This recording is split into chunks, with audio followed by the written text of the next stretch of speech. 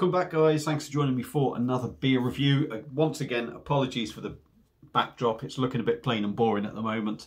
Uh, so you've got me or you've got the beer review. Either way, I'm going to be in there somewhere, either looking at me, listening to me, whatever. So hopefully the beer is going to be be the focus of you all because that's what it should be. It's a beer review. Uh, so, right, what are we on about? What are we on about? Right, like I say, another beer review. It's a beer that my wife got me for Christmas. Uh, it's part of the box uh, she got from Wold Top. I think it was actually Amazon, but you know what I mean. Uh, and they're based in Driffield, I think it is, and I'm pretty certain that's in Yorkshire, judging by the postcode, YO25. So I'm going to guess something like that. Uh, and what we've got is a bottle of their Shepherd's Watch. It's a rich dark ale, as it says on the bottle. It's coming in at 6% in a 500ml bottle. And I don't know how much it was. Probably about £2 to £2.50 if you just buy it from a supermarket around there or from them. Uh, if she's bought this off Amazon, which I'm certain she has, she's probably paid way over the odds, but it was a Christmas present. Doesn't matter. So, she didn't get me a glass for this one, so I'm going to use the Ilkley Brewery glass that she got me with the Ilkley Brewery box. So uh, it's been in the fridge. It, the fridge is probably too cold. This is probably too cold, really. This probably, I mean, I'm going to guess at about, this is probably five to six degrees. Five degrees, I'm going to guess. I always say that because it's been in my fridge, but I'm going to guess something like that. It's been out for half hour, but it should probably be a good eight, eight, nine degrees. So uh, let's get it cracked open. There we go. That's just, quickly. There's the standard sort of label they have. It just changes with the beers and there's the Wold Top crown. So let's rip it open and get stuck in. Lovely bit of smoke coming from there. I don't know why I'm showing you because you can't see. I can hardly see it my bloody self. So I do like a dark ale. Hopefully it is going to be rich and it is going to be, you know, have them dark flavours.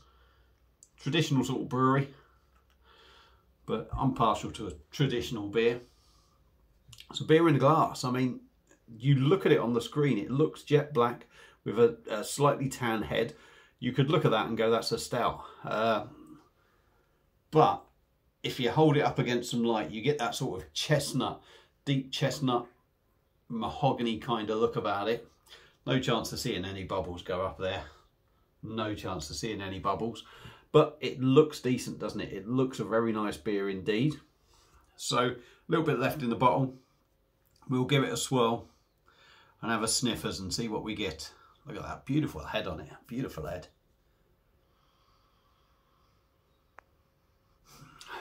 There's hints, but it's very muted and probably, I'm going to guess probably because it is too cold.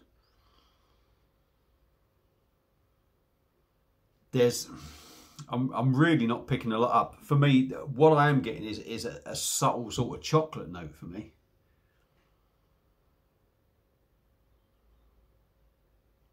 Subtle chocolate note. A little bit sort of hedgerow, dark fruit sort of thing, which would be coming from the hops.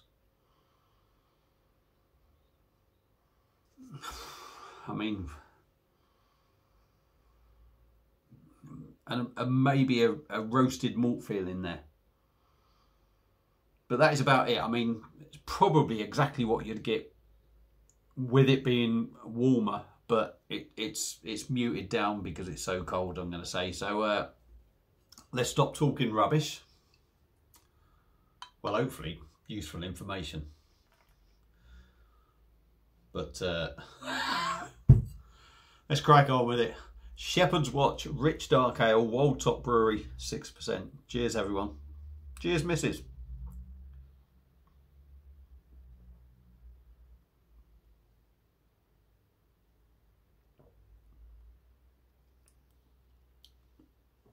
yeah, I can definitely tell just by the flavours in this beer.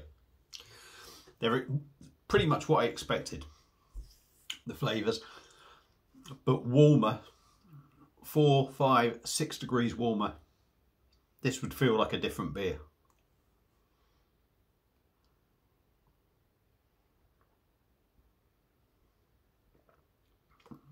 The body is, is superb. 6% and that's got some weight to it. That really has got some weight to it. Not too heavy that I'm not going to say it's going to weigh you down kind of heavy. It would over after, you know, if you had three or four of these, it's going to weigh you down, no doubt about it. But it's weighty without sort of weighing you down, certainly after the first little bit anyway.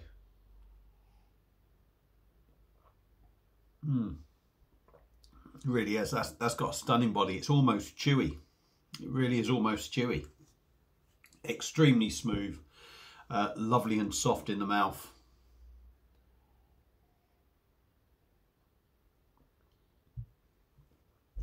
And low on carbonation. Yeah, on the nose, felt, felt a bit muted. Drink-wise, as in the drinking experience, it's superb, absolutely superb. Like I say, the body and the smoothness and the carbonation are fantastic.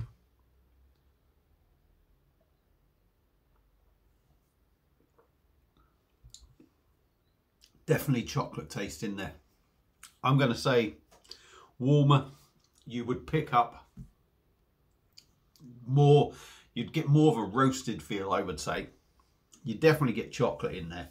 There's a, there's a chocolate feel which is probably the biggest flavour I'm going to say is in there.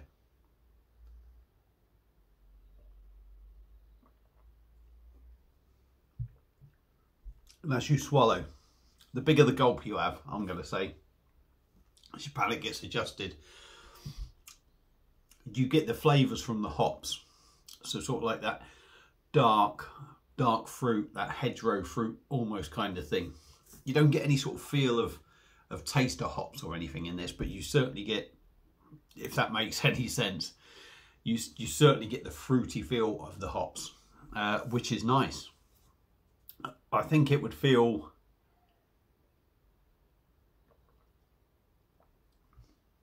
a bit more richer, uh, being a bit warmer. I think you would pick up the, the malt a bit more in this. It's very drinkable and it is very drinkable. I, I tell you what, this is definitely one of them. Cat, will you shut up? Right, this is definitely one of them. You would sit in a pub. A nice big roaring fire going on. Bear with me. I'm going. No, I'm not going to say what. I wouldn't do anything to that cat. I honestly wouldn't. But she drives me up the bloody wall sometimes. Uh, but where were we? Yeah, we were sitting in the pub. A lovely big log fire going. I can imagine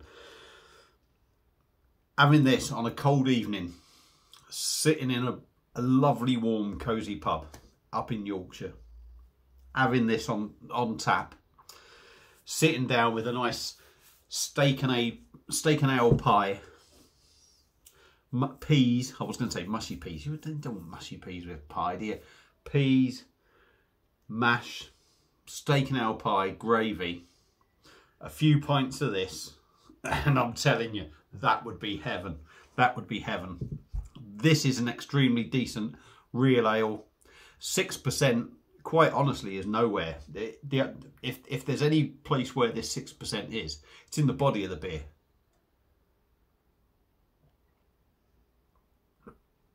Taste-wise, no, it just feels like a dark ale. Beautiful drink, goes down a treat and a big thumbs up from me. So uh, Wold Shepherd's Watch and their Rich Dark Ale. If you're into your traditional stuff, get some of this down you. Uh, despite it just coming out the fridge half hour ago, if that, that's an excellent beer. Still got lots of flavour. I think it would improve.